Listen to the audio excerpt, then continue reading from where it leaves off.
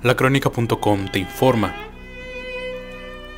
Para los residentes del Valle de Mexicali y la zona urbana, el sismo de 7.2 grados en la escala de Richter, ocurrido el 4 de abril, será un acontecimiento difícil de olvidar, mientras que las imágenes de casas, caminos y canales destruidos serán testigos de este hecho.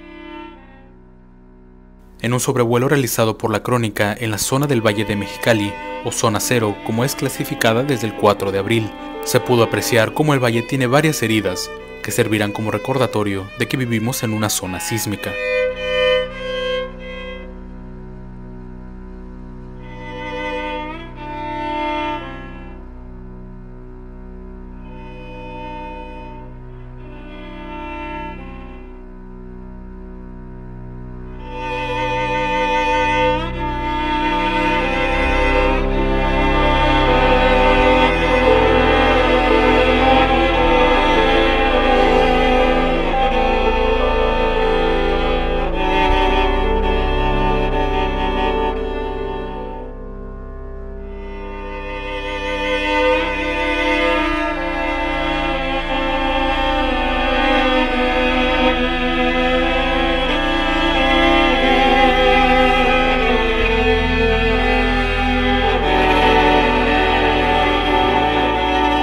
Tras 8 minutos de vuelo desde el aeropuerto acondicionado en el Parque Vicente Guerrero hacia el sur de la zona urbana, poco a poco se pueden apreciar derrumbes, grietas y charcos de agua por el Valle de Mexicali.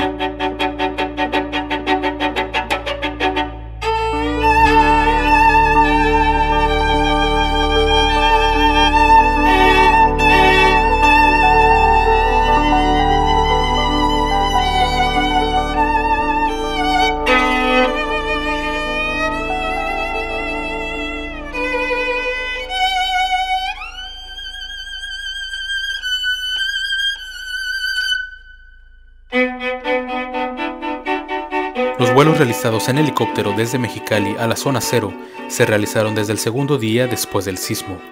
Reconocimientos, entrega de agua y supervisión de trabajos eran las principales labores al sobrevolar la zona.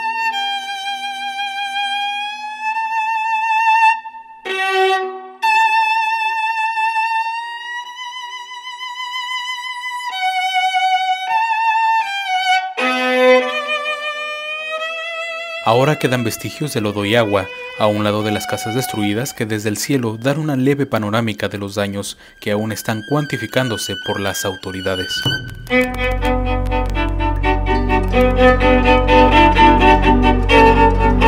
Aunque la velocidad del helicóptero es de aproximadamente 150 km por hora, se puede apreciar claramente los cultivos en la zona rural, cuyo riego y producción peligra ahora por la escasez de agua.